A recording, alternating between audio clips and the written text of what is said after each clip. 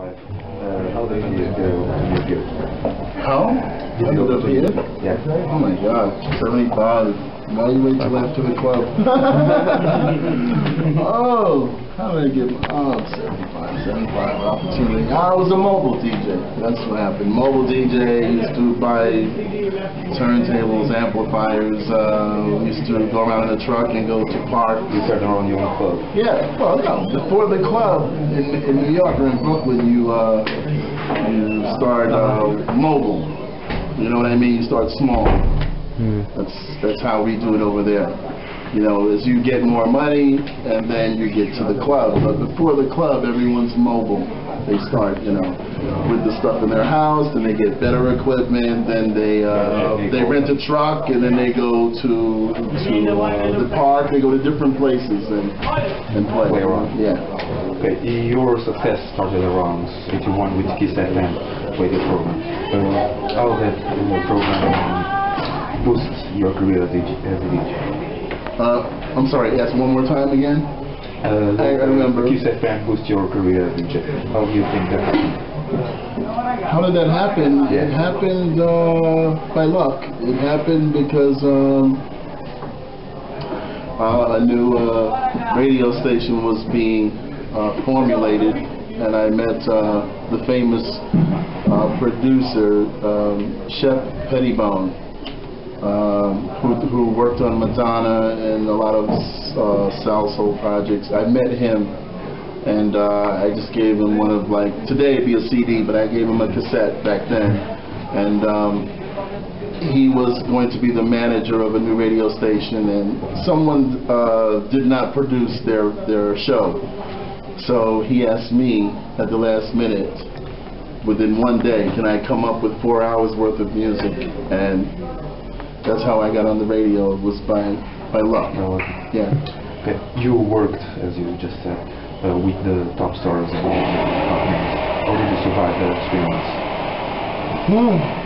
Um, probably by staying real, staying myself. You know, uh, I don't get caught up in the uh, the glitz and the glamour. I don't get caught up in the the ego of the music business. I just, you know, like to uh, keep responsibility. You know. So you don't, you don't feel a star. You don't look at yourself. No, absolutely not. I'm, I'm not a star because I, I don't sing. I don't play an instrument. I mean, those are the real stars to me. You know, um, producers, yes, they can be stars, but the real stars are the people with the talent. You know, we are managers. Well, in life, we have um, different families, I would say. You have your religious family, you have your personal family, you have your sports family, you have your college family, you know. Well, music to me is another outlet or another family that you can depend on, you know, that it can be good, bad, whatever, but it's another outlet that, you know, is very important. You know, if you have no other family left, music is good. you can count on music, man. That's what Like you're a reference for a lot of DJs. What are your main influences in DJing? Influences? Yeah. Oh God, so many. oh, oh man. You don't like Well- the question. That's a good question. Um, I was fortunate, I would say, to uh, grow up in a time or a period or a decade where um, there was so much talent in bands or producers or whatever before the electronic age, okay, that my influences came from all over the place, from all over the world, whether it was jazz, whether it was Latin, whether, whatever excuse me, it was a, it was a different time. And um, I'm very fortunate to experience a little bit of that. That's, that's where I got my influences from everywhere. Because one thing I will say is that that's different from now. When you had bands before, a lot of times, uh, if you were talented enough, the, the record business would give each person in a band or whatever a chance to have their own album. You understand? For instance, uh, who can I use an ex as an example? Let's say um, Rufus and Chaka Khan, okay, something like that. So then Rufus was by herself, or Prince, you know, and he had different people, you know, who played with him. Well, if you were good enough and you were a bass player, you know, Stanley Clarke, you know, or you were uh, a flute player, you know, whatever, you got your chance. Ralph MacDonald was a, a conga player. You understand what I mean? So Yeah. back then, everyone had their own album or two, and I was influenced by all the albums at that time. So, you know, it, it was very good. You know, it wasn't just one producer as it is now. It's funny we talk amongst our group of people all the time, and um, what I equal what we do is it's the same as religion. So because you are a Catholic, okay, and there are not that many people coming to church doesn't mean you change your attitude about the religion. You just keep going on until more people come. You understand what I mean? So, you know, it's good to know what's going on. For instance, if there is techno, hard house, uh, hip hop, whatever, that there are other things going on, it's good to be educated. But it doesn't mean you have to switch. It doesn't mean you have to sell out. It doesn't mean like because there's nobody in church now I'm going to be a Muslim or I'm going to be something else. You stick with what you were with until it comes back again. You know, you get more people. You know, sometimes it goes in waves. You know, Hmm. every Sunday is not filled up with 2,000 people. You know, and one time, you know, it will come back because you don't know who the young people are in the crowd. What do you want?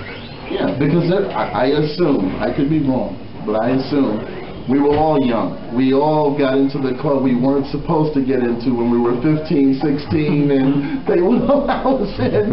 And what are you doing? Where's your ID? You know, whatever. But nobody knew who we were at that time, you know, and they had their own group or family of cliques, and we weren't a part of them. Well, now, now, our clique or our age of people, okay, they have families, they don't go out as much, you know, they're into big business, they have their own record labels, they have their own this. So it's not the same people anymore. But as long as people are smart enough to look, for the younger people, the 10 or 20 that is by the speaker or by the booth and they're just humble by themselves, that's the new generation of people. So to say like, oh, well, they don't like soulful music anymore, they don't like vocals, they don't like this, you don't know that for sure. You don't know until you do some research to find out who is really out there. Or else you wouldn't be here and I wouldn't be here because we weren't in the majority before. Mm-hmm. We weren't supposed to be in the club. Correct? I mean, once you get past, you know, trying to pick up uh, women or men or pick up, you know, uh, you know, to you- once you get past the the normal things in a club, then you know there are people who are very interested, who want to be the light man, who want to be the DJ, who want to be security, who want to be whatever, and someone needs to do their job and find out who they are. That's the thing. That's what I believe. For me, I take over from where the person before me was playing, and I look and see what's going on with people, you know, on the floor. So I know, or I believe in, in certain things. If a club is not crowded, okay, then you have to do your best to try to keep people on the dance floor, of course. Um, and you see what works and what doesn't work until you get their attention And then and then they trust you. But you have so many other influences that go on in a club, you know, be it the bar, the beautiful people, the lights, whatever. There's so many distractions, I should say, more so than the music, that you have to try to equal that or get their attention to you. You're not just part two or three or four. So that's where the work is. That's where the experience comes in. That's where the versatility comes in. I mean, you know, you, that's where you can tell whether somebody is prepared and they know what they're doing or not. You understand? I mean, we're prepared, or I was prepared in the sense that I can go in eight different ways, but because I had no idea what the crowd was going to be, you know, I had to, well, the only, the only information I had was the person that was playing before me and what I saw. So until I feel confident, they feel confident, you understand, then I can gradually sort of pull them into what, you know, I would normally play. But until then, you know, they are paying to hear me. I don't know. They Yeah. spend twenty, fifty, I don't know, hundred dollars to come in, you know. Yeah. And it, it's my job to entertain. We're in the entertainment business, you know. I'm not gonna fight them and go, oh, I'm Tony Young because I don't give a shit. You, you have to like this. I'm gonna stick it down your throat, you know what I mean? And like, too bad, go home. You do that, you're in trouble. That this arrogance, Yeah. arrogance to me doesn't bring mo- bring money really. It doesn't bring business. I'm sorry, I used the wrong word. You know, so um, that's that's where the work is to me. You know, so uh, again, maybe it wasn't as cra- uh, packed and crowded tonight as other nights. Yeah. Okay, but the fact that if they stayed for three hours or four hours and they weren't used to the type of program I played, Yeah. then that's a plus. They could have left after three records. They could have Yeah. left in 15 minutes and said, I don't like this guy, or give me my money back. You know, Yeah. so, you know, and that's what I would hope we would pass on to the other generation of DJs or whatever. I don't want to sound old. I don't want to sound like, you know, whatever, but, you know, to be able to pick up, to have a, a sense of when to change, when to change the mood, when to switch up, when to get faster, you know, when can you take a chance and be softer, is the maturity, I think, of being a DJ. You don't saw, you just don't go, oh, they like this, and I'm going to play 50 records of this type.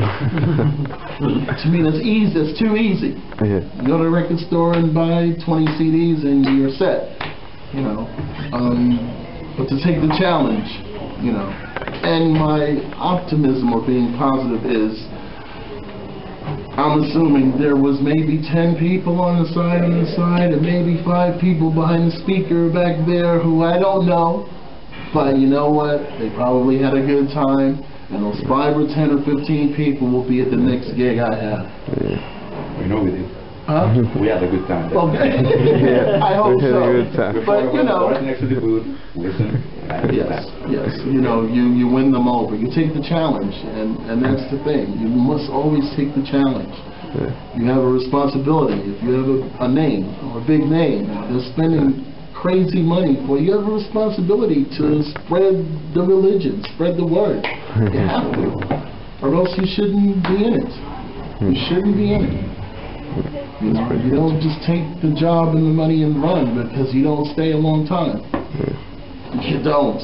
There's too much competition, man. It's crazy, you know. And I always use the big real artist as an example, you know. I say, well, what does Janet Jackson do? What does, you know, Madonna do? What does this one do? Whitney Houston, I mean, how do they stay there? How do they have 20 albums? How do they stay around for 15, 20 years? You use them as a, as a model, you know. That's what I use all the time. That's, that's an example. Have you ever? Sure. Sure. Just like, again, I hate to keep saying it, like religion, you know, people say, well, you know, why would God have, you know, why he, why he let my sister pass away or some craziness, you know, now I don't believe anymore? Well, it's challenging, it's challenging sometimes, but you have to stay with it, you know, and keep your beliefs up. You know, you have to. Don't let anybody take that away from you or you should quit. A lot of times I thought about quitting, you know, before I had the record label, uh, five, six years ago, you think, uh, nobody's into this music anymore, you know, it's old, it's this, it's that. That is just bad talk, and I refuse to listen to it anymore. Because I can remember every year, every year, someone says, house music, dance music, vocals, soul music, oh, it sucks, it's not happening no more, you know, this is happening, techno's happening, Yeah. hip-hop's happening, and you know what? You speak to people in techno and hard house, and they're saying the same thing, oh, it's not happening anymore, you know, so we happen to find out more about the business, it doesn't mean it's going anywhere. Yeah. I don't believe it. People say, let's go to Miami, let's go to Ibiza. It's not Yeah. happening anymore. It's funny. They got more people in Ibiza, Yeah, more they keep in going, Florida yes. Than you ever had before. Yeah. So the lesson of the day to me is don't listen to negative talk because there's no proof there. Yeah. For all the bus for all the business that the record companies that close and all that. You look at the list of, of parties that they're having in Miami this year, it is double what it was last year. Yeah. So you know what? We all can't be stupid or crazy. Somebody's making money somewhere. Yeah. In house music or dance music, somebody's making money. We're not, we're not all, fifty of us are not stupid. The ones that don't talk are the ones that are making money. Correct? Yeah. So just don't get caught in a bad group of people with negative talk because, you know, you go down while they make the money. It makes no sense to me.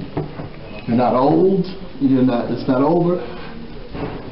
I think the music business today is the same as it was 10, 20, 30 years ago. The only difference is you and I happen to know more about it. Yeah. We know more about the club business. We know about the, the promotion. We know more about whatever, the names.